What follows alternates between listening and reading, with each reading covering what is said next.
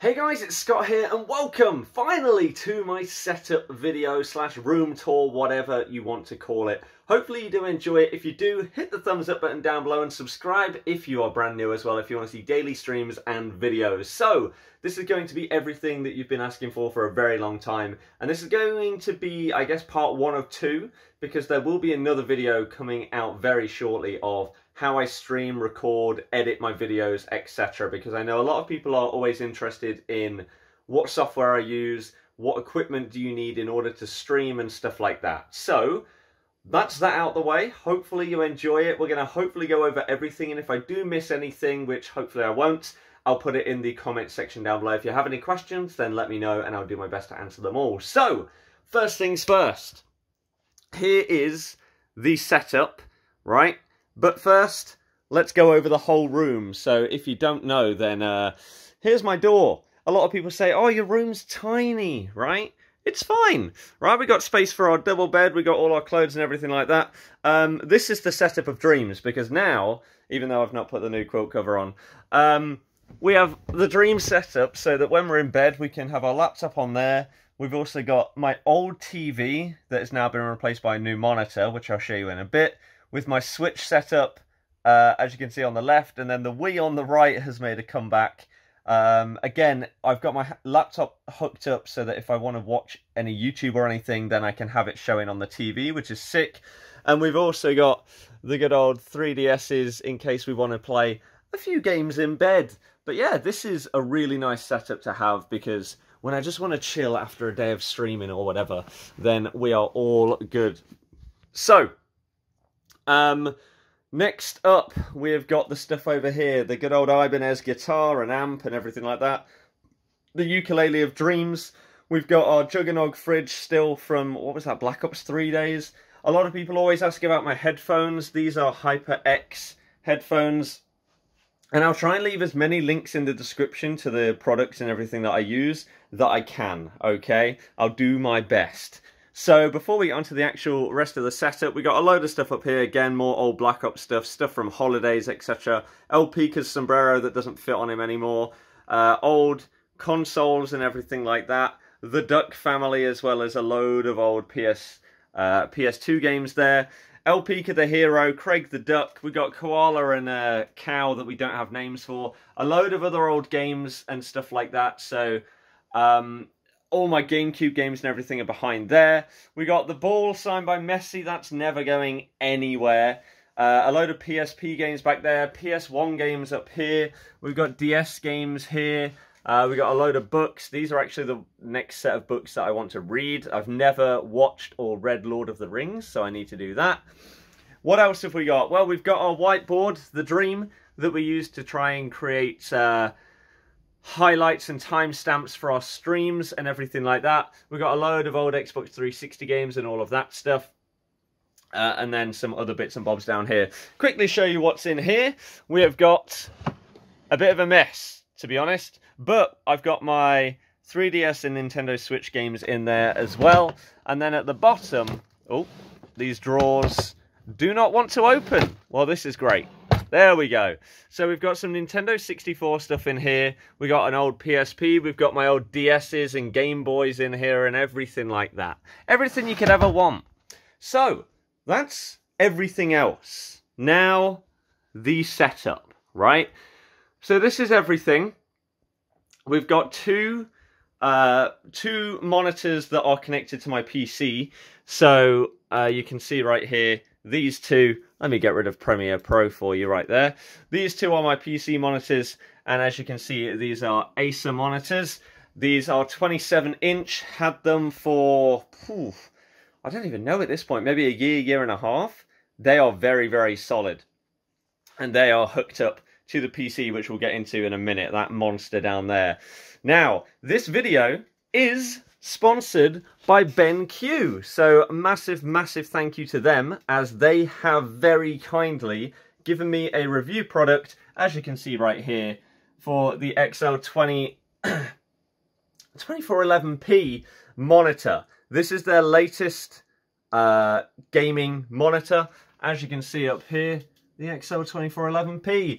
And honestly, uh, I've been told to be as brutally honest as I want in all of the reviews of the stuff that they've given me. And I have to say, this is fantastic.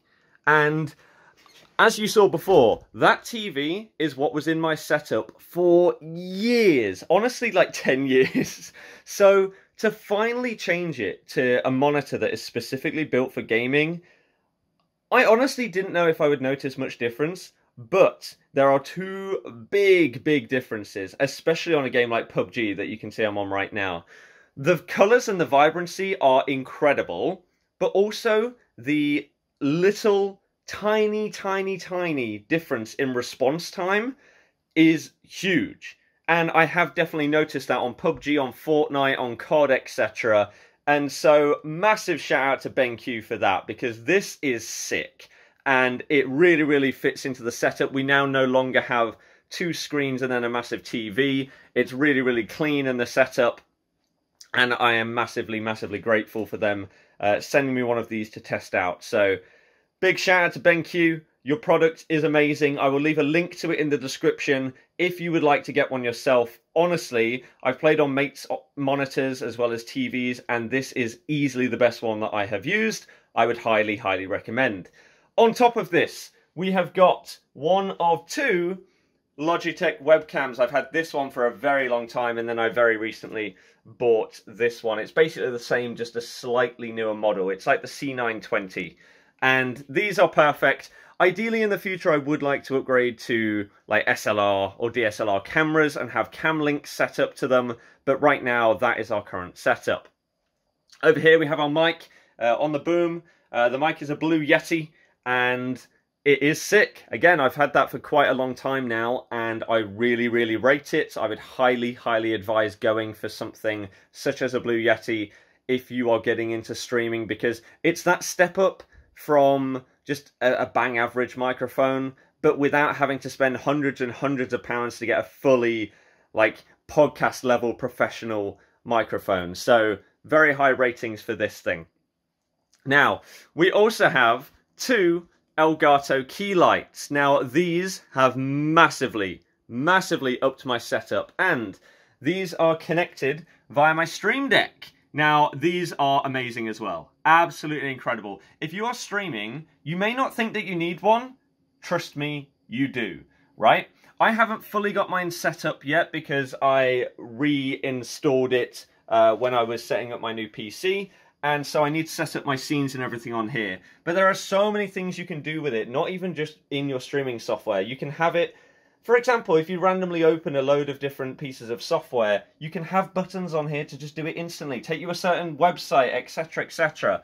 But if we press the old lights uh, button here, you can see the key lights light up, and if I turn off my actual room light, then you can see that it doesn't make any difference in this portion of the room. Obviously over here, it's uh, it's a lot darker than it was, but these provide the perfect setup. So the Elgato key lights are incredible. Now, we also have the Xbox One, of course, with external storage, so I actually have space for games that are nowadays like 100 gigabytes. Uh, down here we've got our PS4 as well, which obviously we switch between using our Elgato HD60. And now, the beast.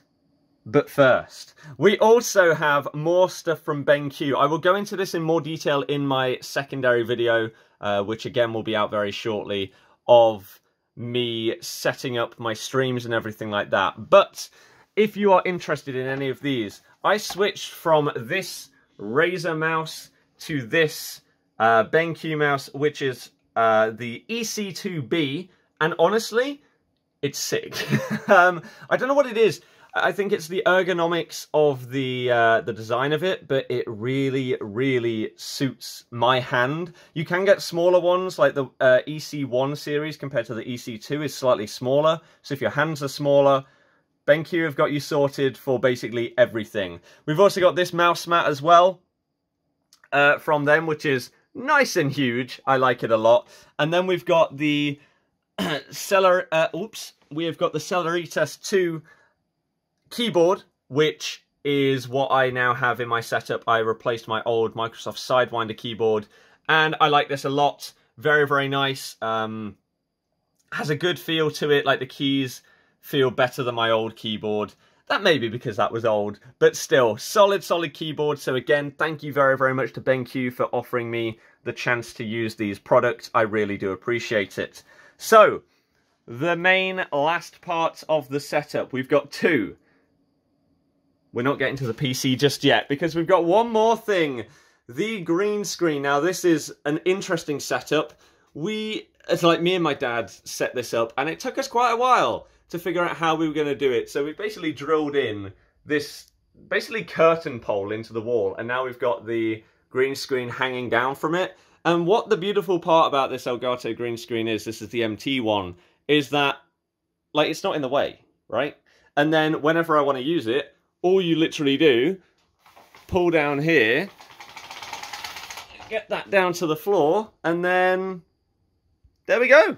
Our green screen is set up. It's big, um, and it's just perfect. Like, honestly, this is exactly what I've wanted for a very long time because the pain of a green screen is setting it up, putting it away and everything like this. But as you can see, look how easy the Elgato one is to use. So that's pretty damn awesome. So this is our setup. We have a bootleg chair right now, so I'm not really going to get into that. It used to be an Elgato gaming...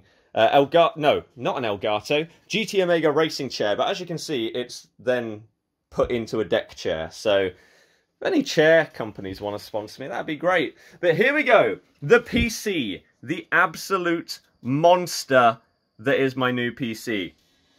It is incredible. It cost a lot. Uh, but I will put all the specs of it in the description for those that are interested. We've got a Ryzen 9 3900X CPU, which is basically the best for streaming and content creation, everything like that. We've got a 2080, as you can see, GeForce RTX graphics card. We've got 64 gig of Corsair RAM, which is mad. And we also have the built-in Elgato HD60 and that is the reason why it's so easy for me to be able to stream now, because I plug my stuff directly into the capture card. Rather than having an external one like this that I had before, this is the way forward, the HD60 Pro. So again, I will leave all the specs in the description, but I will also put them on the screen right now for you so that you can see them all. And I will try and link every single product that I can in the description of the video. But hopefully you did enjoy this. This is what it looks like from where I'm sitting when I'm streaming. It's not bad, is it? It's not bad at all. So, yeah, that's my setup video. I promised you it was coming. It's taken a little while, but hopefully it was worth it because now you can see everything and how my streams are set up. So, thank you very, very much for watching. Hopefully you enjoyed this video. If you did, hit the thumbs up, subscribe if you're new, and I'll see you tomorrow. Goodbye.